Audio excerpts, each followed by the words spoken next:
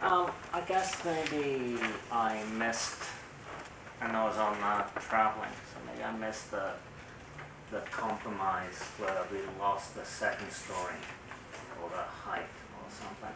And um, I think there's two things that really define how a street feels.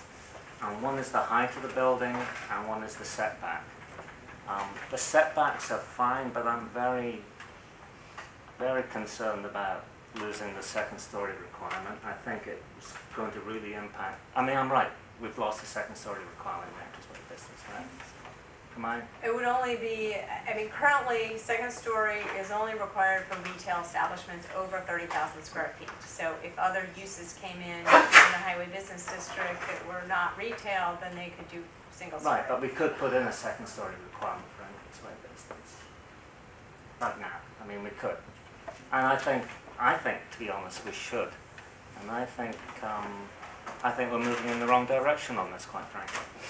Um, and I'm, I'm, uh, and I don't think a, a, a planting strip ever works to, to actually replace the real impact of solid masonry and on, on how you feel when you drive down the street. And um, personally, it's not what I want to see in entranceway business.